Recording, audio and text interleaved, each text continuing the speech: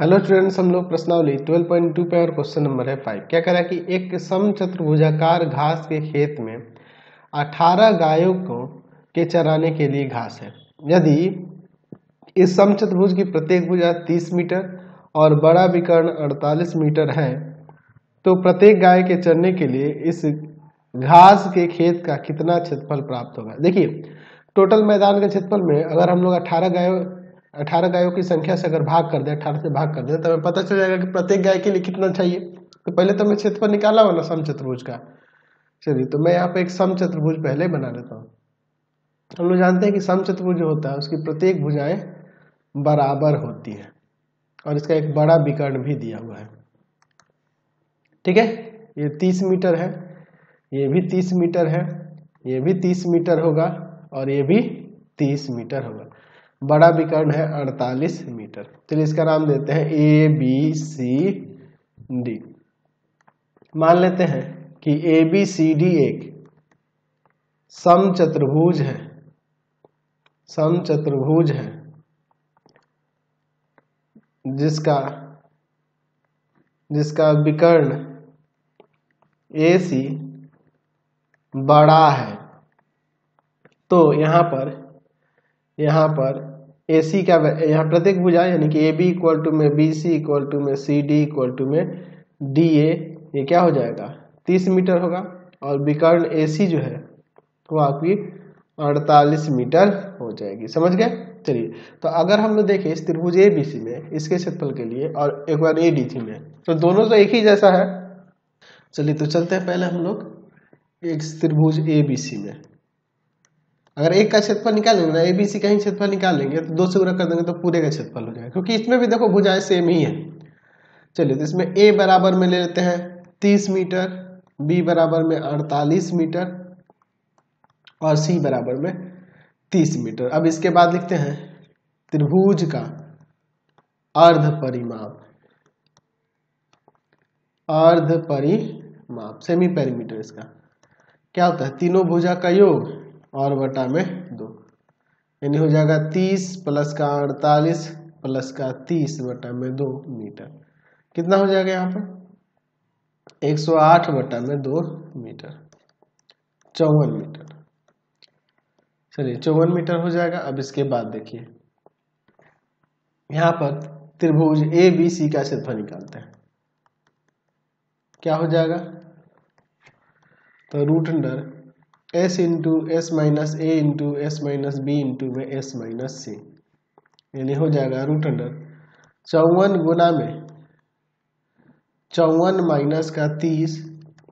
चौवन माइनस का अड़तालीस। फिर यहाँ हो जाएगा चौवन माइनस का तीस। मीटर स्क्वायर है ना? चलिए अगर इसे सॉल्व करते हैं। क्या हो जाएगा? रूट अंडर चौवन गुना में, यहाँ पर देखिए घटा देंगे। तो चौबीस होगा। फिर यहाँ पे छ हो जाएगा और फिर यहाँ पे चौबीस हो जाएगा, मीटर स्क्वायर। चलिए, चौवन को हम लोग क्या करते हैं कि तीन गुना तीन गुना में छः कर देते हैं। गुना चौबीस गुना छः गुना चौबीस। या पेयर बन गया, इसलिए मैंने और ज़्यादा नहीं तोड़ा है। चलिए अब आगे देखिए यहाँ पे क्या हो जाएगा। तीन का पेयर बन गया छः का और चौबीस का मीटर स्क्वायर। तो कितना आ जाएगा यहाँ पे? गुना करेंगे तो तो आ जाएगा सिक्स थ्री जा एटीन और एटीन में मल्टीप्लाई कर दो ट्वेंटी फोर से।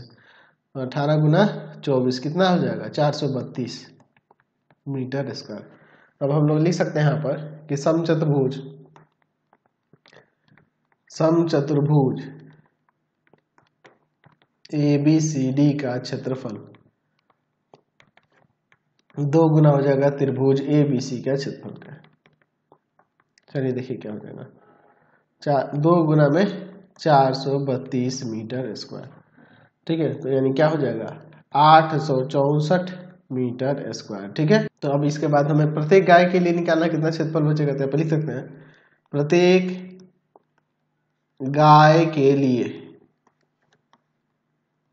घास के मैदान का, घास के मैदान का क्षेत्रफल। तो आठ सौ चौसठ और बट्टा में कितना? अठारह को के लिए था ना जी? चलिए तो भाग कर देंगे अठारह से तो क्या आ जाएगा? अड़तालीस भाग में कट जाएगा। अड़तालीस मीटर स्क्वायर प्रत्येक गाय के लिए होगा। क्वेश्चन नंबर सिक्स देखिए क्या करें। दो विभिन्न रंगों के कपड़े के दस त्रिभुजाकार टुकड़े को सी कर एक छाता बनाया गया है। अच्छा दो विभिन्न रंग के हैं, देख लीजिए। है ना, यहाँ पे ऐसे फिगर में हम लोग मान लेते हैं कि काला और सफ़ेद है। तो दो विभिन्न रंग के हैं, यानी कि पाँच को काला और पाँच को सफ़ेद, ऐसा मिलकर बना प्रत्येक टुकड़े की माप दी है। बीस सेंटीमीटर, पचास सेंटीमीटर पचास सेंटीमीटर। पचास सेंटीमीटर, बीस सेंटीमीटर और ये भी पचास सेंटीमीटर। तो छाते के प्रत्येक रंग में कितना कपड़ा लगा? है ठीक है? दो विभिन्न रंग का है। चलिए तो यहाँ पर हम मान लेते हैं। माना, प्रत्येक त्रिभुजाकार टुकड़े की भुजाएँ, त्रिभुजाकार टुकड़े की भुजाएँ। ए बराबर में 20 सेंटीमीटर, बी बराबर 50 सेंटीमीटर और सी बराबर 50 सेंटीमीटर। तो यहाँ पे लिख सकते हैं त्रिभुज का अर्ध परिमाप त्रिभुज का अर्ध परिमाप क्या हो जाएगा? एस बराबर में a plus b plus c और बट्टा में दो, है ना जी? तो यहाँ रख देते हैं वैल्यू को। बीस प्लस पचास प्लस पचास बटा में दो सेंटीमीटर एक सौ बीस बट्टा में दो। साठ सेंटीमीटर यहाँ पे लिख सकते हैं कि त्रिभुज का क्षेत्रफल। क्या हो जाएगा? रूट अंडर एस इंटू में एस माइनस ए इंटू में एस माइनस बी इंटू में एस माइनस सी चलिए इसमें अब रखते हैं हम लोग। रूट अंडर साठ गुना साठ माइनस का बीस, साठ माइनस का पचास, साठ माइनस का पचास सेंटीमीटर स्क्वायर। रूट अंडर साठ गुना चालीस गुना दस गुना दस। ये तो पेयर बन जा रहा सेंटीमीटर स्क्वायर इन दोनों का। इन इसमें देखते हैं चलिए। यहाँ पर छः है ना? साठ है तो दो गुना तीन गुना दस कर दीजिए। चालीस है तो दो गुना दो गुना दस कर देते हैं। और फिर दस गुना दस। ये पेयर बना। दो का पेयर बना और यहाँ दस का। यानी हो जाएगा यहाँ पर दो दस है दो बार और रूट अंडर दो तिया छ। यानी कि दो सौ रूट छ सेंटीमीटर स्क्वायर चलिए तो अब लिख सकते हैं। पहले प्रक, पहले रंग के कपड़े का क्षेत्रफल। पाँच गो टुकड़ा होगा, यानी आ जाएगा एक हज़ार रूट छ सेंटीमीटर स्क्वायर फिर दूसरे रंग के कपड़े का क्षेत्रफल। पाँच गुना वो भी पाँच गो टुकड़ा है, दो सौ रूट छ सेंटीमीटर स्क्वायर यानी एक हज़ार रूट छ सेंटीमीटर स्क्वायर ये आपका आंसर हो जाएगा। क्वेश्चन नंबर सेवन देखिए, एक पतंग तीन भिन्न भिन्न शेड के कागज़ से बनी है। देखिए, एक, दो, तीन। इस आकृति से इन्हें आकृति एक, दो, तीन से दर्शाया गया है, देख लीजिए चित्र में। पतंग के ऊपरी भाग, बत्तीस सेंटीमीटर विकर्ण वाला एक वर्ग, ये ऊपर वाला। निचला भाग छह सेंटीमीटर छह सेंटीमीटर आठ सेंटीमीटर भुजा वाला एक समद्विबाहु भुजा ये आठ है, इधर वाला छह है, इधर वाला छह है। याद कीजिए कि प्रत्येक सेड में कितना कागज़ प्रयुक्त हुआ है। अच्छा यहाँ देखिए, इसमें कितना कागज़ प्रयुक्त हुआ है, ये हमें बताना है, प्रत्येक में। चलिए समझिए। यहाँ पर पहले और दूसरे सेट में बराबर ही कागज़ लगा होगा, क्योंकि देखिए ये एक वर्ग दिया है, ठीक है? देखिए यहाँ पर। क्या कह रहा है? कि वर्ग का विकर्ण हमारे पास दिया है। बत्तीस centimetre. A B C D इसको नाम देते हैं, ठीक है? यहाँ ओ देते हैं। यहाँ ऊपर ही लिख देते हैं, माना ए बी सी डी एक वर्ग है, जिसके विकर्ण जिसके विकर्ण बिंदु O पर काटते हैं। ठीक है? तो ये क्या होता है? ये जो काट रहा है, ये विकर्णों को दो बराबर भाग में बांटता है। देखिए, ये ए सी और बी डी विकर्ण दोनों बराबर है। ये बत्तीस बत्तीस सेंटीमीटर है। तो अगर हम लोग ओ ए इक्वल टू में ओ सी लिख दे तो बिल्कुल होगा, जो कि आधा होगा किसका? ए सी का। यानी कि ओ ए इक्वल टू में ओ सी इक्वल टू में बत्तीस बट्टा में दो। सोलह सेंटीमीटर। ओ ए बराबर में, ओ सी बराबर में सोलह सेंटीमीटर। ये भी सोलह सेंटीमीटर, ये भी सोलह सेंटीमीटर। तो अब देखते हैं। पहले वाले शेड का तो ये लिखेंगे लिखेंगे यहाँ पर कि शेड है ना जी? एक, दो, तीन, इसमें। पहले सेड का। सेड एक का क्षेत्रफल। एक बट्टा दो, आधार बी डी और ऊंचाई ओ ए या ए ओ ठीक है ओ ए ही लिख देते हैं। समझ गए ना? इस त्रिभुज में ये लंब लंबा सब विभाजित करता है। एक बट्टा दो, यह है बत्तीस और गुना में सोलह। सेंटीमीटर स्क्वायर, इसको काट सकते हैं, सोलह। यानी कि दो सौ छप्पन आ जाएगा। चलिए सेकंड वाले का निकालते हैं। सेड, सेकंड का क्षेत्रफल एक बटा दो, आधार हो जाएगा आपका बी डी ऊंचाई हो जाएगा और सी एक बटा दो, बत्तीस सेंटीमीटर बत्तीस और गुना में सोलह सेंटीमीटर स्क्वायर ये कट जाएगा सोलह बार में। यहाँ भी दो सौ छप्पन सेंटीमीटर स्क्वायर अब सेड तीन के लिए चलते हैं। सेड थ्री के लिए। यहाँ पर देखिए तो सेड तीन में भुजाएँ ले लेते हैं। ए बराबर में।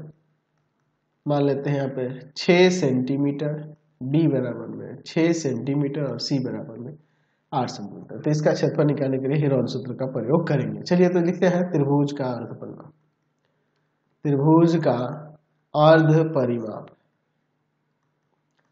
सेमी पेरीमीटर तीनों भुजाओं का योग और बट्टा में दो। छ प्लस का छ प्लस का आठ बट्टा में दो सेंटीमीटर।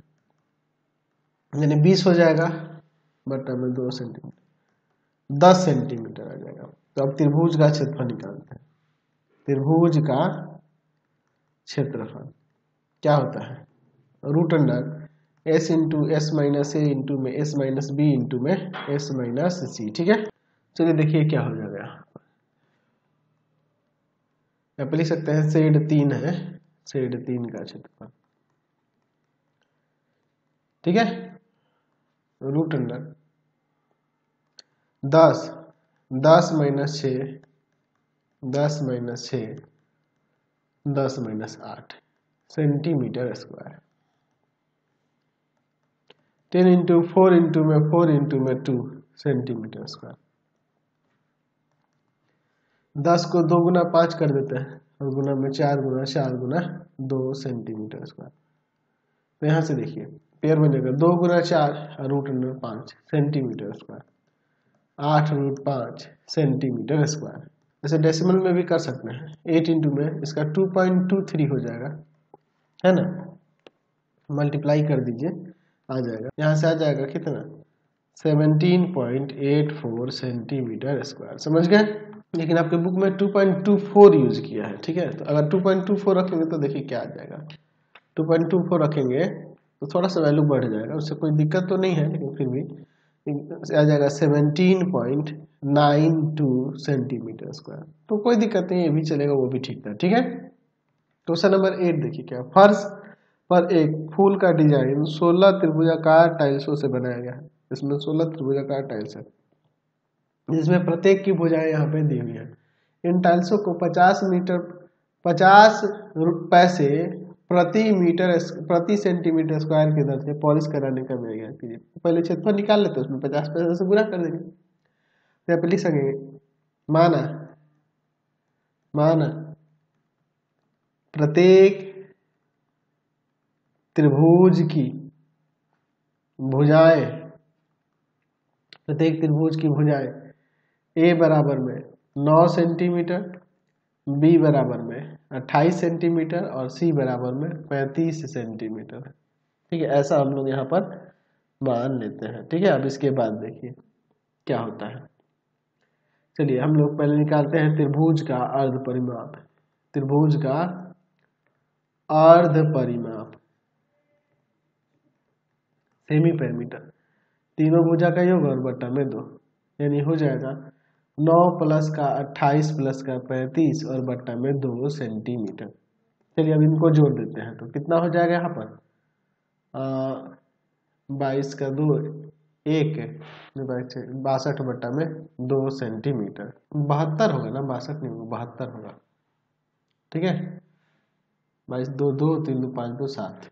चलिए थर्टी सिक्स टाइम्स में। तो छत्तीस सेंटीमीटर अर्ध परिमाप आ गया है ना जी? चलिए, तब त्रिभुज का क्षेत्रफल देख लेते हैं। त्रिभुज का क्षेत्रफल।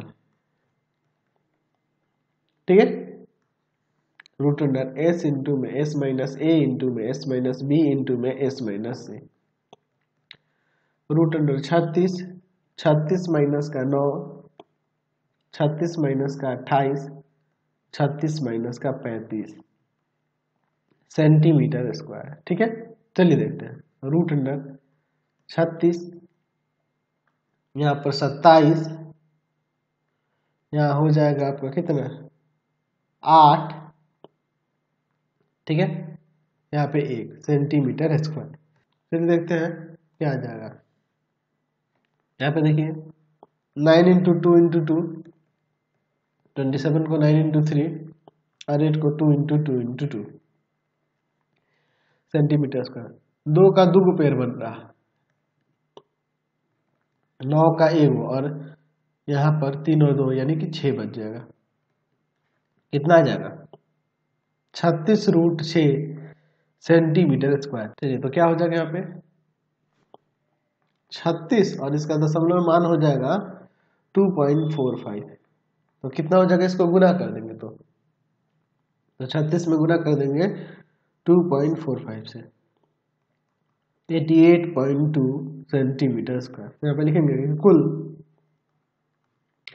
सोलह त्रिभुजाकार टाइलों का क्षेत्रफल। क्या हो जाएगा? सोलह गुना में अट्ठासी दशमलव दो। यानी आ जाएगा, कितना आ जाएगा जी? चौदह सौ ग्यारह दशमलव दो सेंटीमीटर स्क्वायर अब इनको लिखेंगे। टाइलों को पॉलिश कराने का, पॉलिश कराने का खर्च। क्या हो जाएगा? चौदह चौदह सौ ग्यारह दशमलव दो गुना में पचास पैसा। तो कितना आ जाएगा यहाँ पे? तो इसको गुना कर देते हैं। One four one one point two में हम लोग ज़ीरो पॉइंट फाइव ज़ीरो से। यहाँ पे आ जाएगा। सात सौ पाँच रुपया साठ पैसा।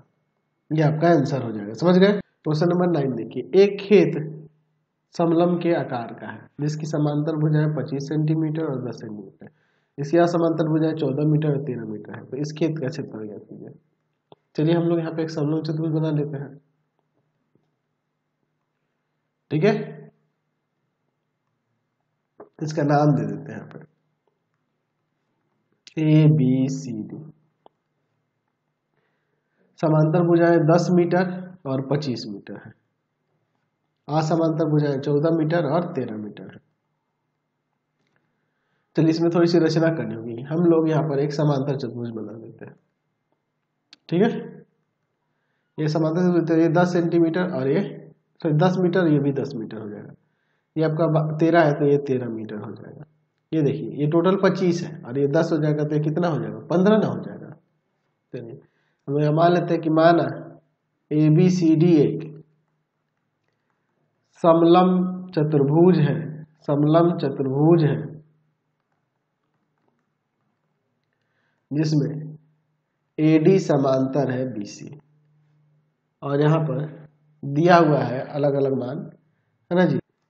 डी इक्वल टू में दिया हुआ है यहाँ पे दस metre B C equal to में दिया है पच्चीस मीटर असमांतर भुजाएँ ए बी दिया है चौदह मीटर, और सी डी दिया है तेरह मीटर। चलिए, अब यहाँ पर हम लोग, यहाँ पे इसमें रचना की है कि ए समांतर सी डी खींचे। या डीसी खींचे ठीक है? डीसी खींचे है ना? ई e कहाँ पर है? बीसी पर स्थित है। इस तरह से है। चलिए, अब इसके बाद देखिए। तो यहाँ पे हम लोग, ये समांतर की समांतर चल ये वैल्यू हमने लिख दिया है। अब उतना कुछ कौन लिखने जाए यहाँ पे एक लम्ब डालते हैं। हम लोग पहले इसी लंब को निकालने वाले हैं। देखिए, ये लंब निकल जाएगा, हमारा काम हो गया। त्रिभुज ए बी ई में, क्योंकि समांतर चतुर्भुज जो सम जो सम चतुर्भुज है, ये जो सम चतुर्भुज देख रहे हैं, इसका क्षेत्रफल निकालने के लिए, इस सम चतुर्भुज का क्षेत्रफल निकालने के लिए, ये समांतर हो जाए, पता ही है, और ये अगर लंब पता चल जाए तो काम बन जाए चलिए, इसमें एक भुजा ले लेते हैं, पंद्रह मीटर, दूसरी बी ले लेते हैं, तेरह मीटर, और सी ले लेते हैं, चौदह मीटर। तो यहाँ पे लिखते हैं, त्रिभुज का अर्ध परिमाप त्रिभुज का अर्ध परिमाप यानी semi perimeter a plus b plus c बटा में दो। हो जाएगा यहाँ पे पंद्रह प्लस का तेरह प्लस का चौदह बटा में दो मीटर। चलिए इनको जोड़ देते हैं। पाँच, तीन, आठ आठ, चार, बारह, दो, एक, तीन, एक, चार बटा में दो मीटर।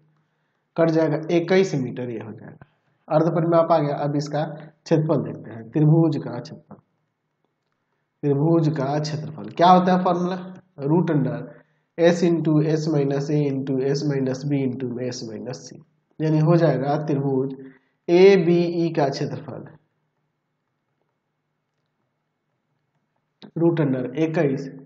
इक्कीस माइनस पंद्रह। इक्कीस माइनस तेरह। और फिर इक्कीस माइनस चौदह। Metre square. चलिए अब इसे आगे यहाँ पे सॉल्व करते हैं। इक्कीस गुना में छ गुना में, यहाँ पर आठ, यहाँ पर आ जाएगा सात मीटर स्क्वायर। तो देखिए, इक्कीस है तो इसको तीन गुना में सात छ है तो यहाँ तीन गुना में दो कर देते हैं। और आठ है तो दो गुना दो गुना दो और गुना में सात मीटर स्क्वायर।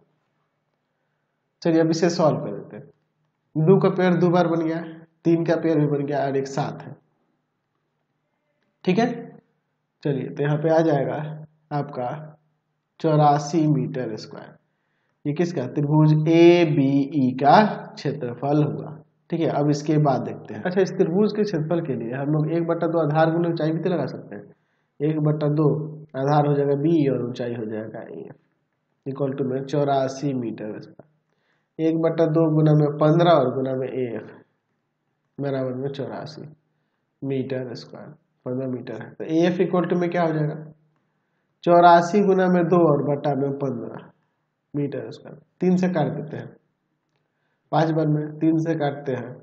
यहाँ पर कितना आ जाएगा जी? तीन से। तीन गुना छ और तीन आठ है चौबीस।